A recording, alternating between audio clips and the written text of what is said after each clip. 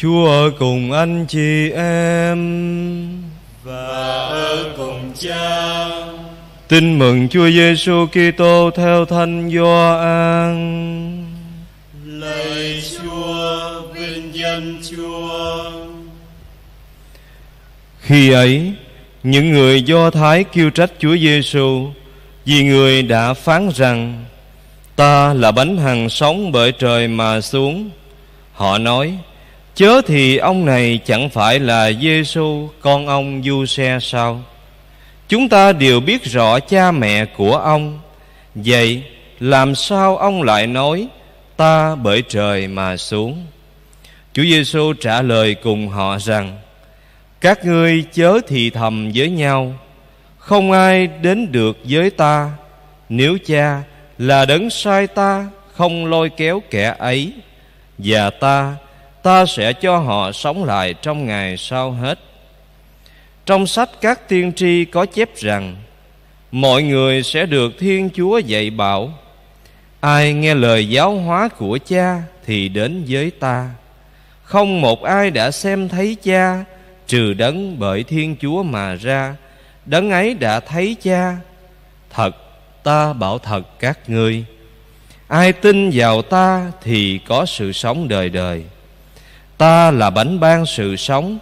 Cha ông các ngươi đã ăn mang na trong sa mạc và đã chết. Đây là bánh bởi trời xuống. Để ai ăn bánh này thì khỏi chết. Ta là bánh hằng sống từ trời xuống. Ai ăn bánh này sẽ sống đời đời. Và bánh ta sẽ ban, Chính là thịt ta, Để cho thế gian được sống. Đó là lời Chúa Lạy Chúa Kitô, ngợi khen Chúa.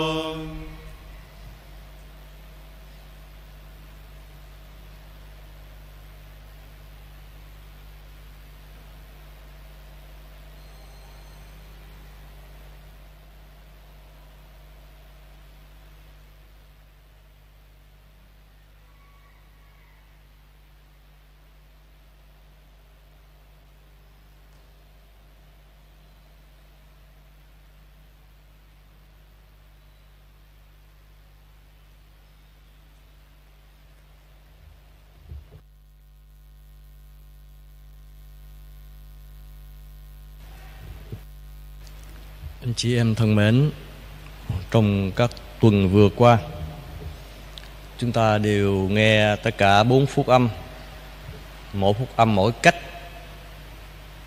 cố gắng để diễn tả cho chúng ta câu chuyện qua bánh ra nhiều.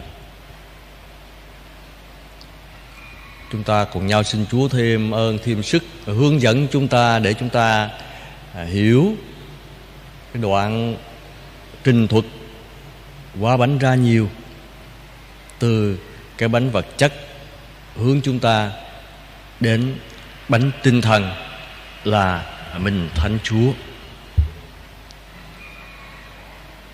Bài đọc thứ nhất trong chủ nhật hôm nay được trích từ sách các vua, kể về cái hành trình gian khổ của tiên tri Elia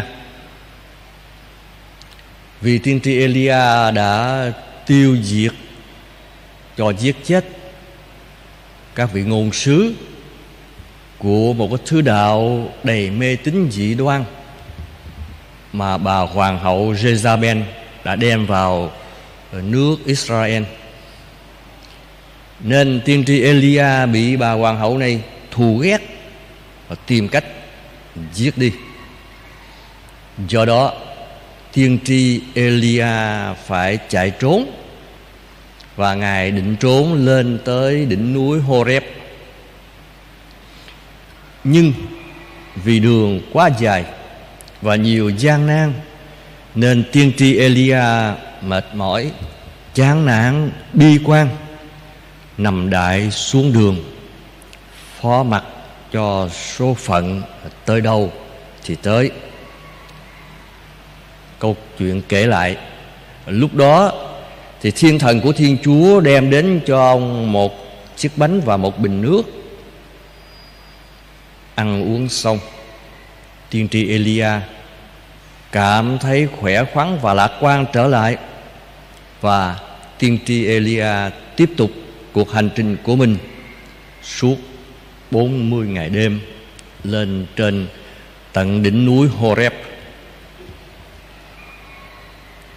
Thư bánh thần diệu đã bổ sức cho tiên tri Elia ờ, chỉ là hình bóng của cái thứ bánh ờ, mà Chúa Giêsu sẽ ban cho loài người chúng ta, tức là ờ, mình Thánh Chúa. Trong bài tin mừng hôm nay chúng ta đều nghe Chúa Giêsu tuyên bố Ta là bánh hằng sống từ trời xuống Ai ăn bánh này thì sẽ sống đời đời. Thực vậy, Mỗi lần chúng ta rước lễ, Chúng ta rước mình Thánh Chúa Là chúng ta được ăn, Được rước chính mình Chúa, Và thức ăn đó Đem lại cho người rước lễ Biết bao ơn quý giá. Nói về bánh hàng sống. Thì trong cuộc sống hàng ngày của mỗi người chúng ta, các bạn bè thì các người thân đều đặt câu hỏi ra. Nếu anh phải chọn một cách sống, anh sẽ là gì và anh sẽ làm gì? Thì có người sẽ trả lời, tôi tôi sẽ là ông thầy giáo, cô giáo. Tôi tôi sẽ là y sĩ, bác sĩ, vân vân. Hay lãng mạn hơn các giới trẻ nhiều giới lãng mạn lắm. Tôi sẽ là mây, tôi sẽ là biển, tôi sẽ là một cái loại hoa nào đó, một cái loại cây nào đó. Và đó là sự lựa chọn không thể thiếu trong cuộc đời của từng người chúng ta. Phần Chúa Giêsu câu hỏi đặt ra, ngài sẽ là gì, ngài sẽ làm gì, thì trong tinh thần của đoạn văn hôm nay, Chúa Giêsu sẽ có một câu trả lời làm cho tất cả mọi người chúng ta ngạc nhiên. Đó là, ngài là bánh hàng sống, chứ không phải là mây là biển gì cả, không phải là thầy giáo hay y bác sĩ gì cả, nhưng mà ngài là bánh hàng sống. Và sự lựa chọn của Chúa Giêsu là một cái mầu nhiệm, bởi vì đến giờ này ở giữa các nhân vật, quan trọng của lịch sử loài người chúng ta, chưa chưa có một ai làm điều đó, chưa có một ai dám chọn mình là bánh. Bánh thì dĩ nhiên trong mọi người chúng ta đều biết, làm được, từ bột xay ra, được nhào nặng, được thay hình đổi dạng, nhờ nước với lửa. Bánh thật sự là bánh, khi nào nó được nướng hay là bị, được hấp Ừ, vân vân. Bánh dùng để cho con người mình ăn. Có nhiều loại bánh khác nhau ở trên thế gian này, ở trên thế giới này. Đi vào các cái siêu thị thì thấy ừ, bánh đó để cho con người được ăn, được hưởng dùng. Và đặc biệt, có những cái loại bánh à, ăn thêm chất bổ và thay đổi hình dạng rồi mập thêm, cao thêm, vân vân. Bài giảng về bánh hằng sống. Bánh nuôi người đói khát đã khởi sự từ Chủ nhật thứ 17 nếu chúng ta theo dõi, thì một nhóm người rất đông từ các làng mạc, thành thị vây quanh, đến với Chúa Giêsu vây quanh Chúa Giêsu để nghe Chúa Giêsu giảng dạy thì khoảng năm ngàn người đi theo và không rời Chúa Giêsu. Chúa Giêsu giảng dạy những người này và sau đó, để giải quyết cái đói của những người này, thì Chúa Giêsu làm phép lạ qua bánh ra nhiều. Thưa anh chị em, bánh để nuôi thân xác sẽ mở tâm hồn hướng về ý nghĩa của cuộc sống tinh thần. Bánh là biểu tượng của cái gì để nuôi sống Bài giảng của Chúa Giêsu về bánh hàng sống đưa chúng ta vào mầu nhiệm của Chúa Giêsu, dẫn chúng ta đến một cái thứ bánh đích thực, bánh hàng sống, một thứ bánh được nhiều người ăn. Bánh đó được chính Chúa Giêsu đã ban cho từ thứ năm tuần thánh khi lập phép bí tích thánh thể theo tinh thần phụng vụ của chúng ta bánh hàng sống là hình ảnh cụ thể sự hiện diện của Chúa Giêsu ở giữa chúng ta bánh đó trở thành mình thánh Chúa để cho chúng ta có lương thực, nuôi linh hồn chúng ta. Trong chiến tranh thứ hai, ở trại tù của Đức Quốc xã nhiều người sau khi về nhà, mãn hạn tù, đã thuật lại rằng cuộc sống ở trong tù thật là cực khổ.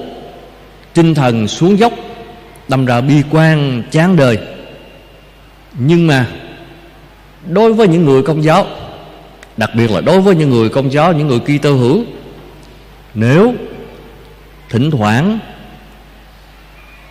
được rước mình thánh chúa, thì họ cảm thấy được an ủi rất nhiều, chịu đựng được những cực khổ. Tinh thần của những người công giáo vững vàng và còn lạc quan, vui vẻ giúp đỡ những anh em trong trại tù khác nữa. Cho nên, họ kết luận, trong hoàn cảnh khốn đốn như thế, thì mới thấy rằng mình thánh chúa thật là của ăn cần thiết cho tâm hồn. Thưa anh chị em, còn chúng ta, hoàn cảnh của chúng ta ngày hôm nay thì dễ dãi hơn có lẽ nhiều khi chúng ta quên, chúng ta không cảm thấy cái sự cần thiết của mình thanh chúa. Cũng giống như người ăn nhiều quá, nên không biết ngon nữa. Chúng ta có thể rước mình thánh chúa hàng tuần, hàng ngày quá quen. Cho nên, quên để ý đến những giá trị vô cùng cao quý của mình thánh chúa giá trị vô cùng cao quý, đó là những giá trị nào? Thưa anh chị em, thứ nhất, mình thánh chúa là biểu hiện của một sự gần gũi rất thân thiết. Nghĩa là trong bất cứ hoàn cảnh nào, chúng ta cũng có thể rước lễ và được rước chúa ở bên cạnh để an ủi, nâng đỡ, khích lệ chúng ta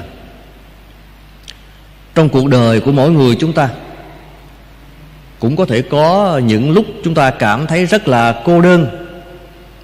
Mọi người đều xa tránh chúng ta, kể cả những người thân thiết nhất cũng bỏ chúng ta. Chỉ có chúa là không xa chúng ta, không bỏ chúng ta. Chúng ta rước mình thánh chúa là được chúa đến ngự trong tâm hồn chúng ta. Gần. Thật gần. Thân, thật thân. Và chúa thấu hiểu mọi tâm tư nguyện vọng của chúng ta. Chúa thông cảm mọi nỗi khó khăn, hướng dẫn chúng ta từng chi tiết, từng biến cố trong đời sống chúng ta. Mình thánh chúa, quả là một cái sáng kiến vô cùng quyền phép của thiên chúa và cũng là một ơn rất cao quý cho loài người chúng ta. Cái giá trị thứ hai cũng có thể liệt kê ở đây. Mình thánh chúa còn là biểu hiệu của một sự trao hiến trọn vẹn đầy yêu thương. Đúng vậy. Chúa giêsu đã trao tặng, đã trao hiến cho chúng ta, cái quý giá nhất chính là thân xác của ngài. Thì ngược lại, phần chúng ta chúng ta phải làm gì đây? Thưa, chúng ta cũng phải cố gắng cố gắng trao lại cho chúa những việc làm quý giá nhất của chúng ta trong đời sống của người Kitô hữu chúng ta. Cố gắng. Đó là những việc bác ái chúng ta có thể làm được. Đặc biệt là trong mùa dịch bệnh này. Đó là ở những hy sinh mà chúng ta có thể chịu được vì danh Chúa. Còn nhiều giá trị khác nữa. Nhưng tôi xin dừng lại ở đây. Chúng ta cùng nhau nhắc lại cái lời của Chúa ta là bánh hằng sống bởi trời xuống. Ai ăn bánh này sẽ được sống đời đời. Bánh mà ta sẽ ban cho chính là thịt ta để cho thế gian được sống. Thưa anh chị em, tin vào lời này, chúng ta không ngần ngại rước lấy mình thánh chúa để được sống. Mình thánh chúa củng cố và nâng đỡ chúng ta như thức ăn mà thiên sứ đã cung cấp cho tiên tri Elia để ông tiếp tục con đường của mình. Mình Thánh Chúa sẽ là một thứ lương thực bổ dưỡng cho linh hồn chúng ta.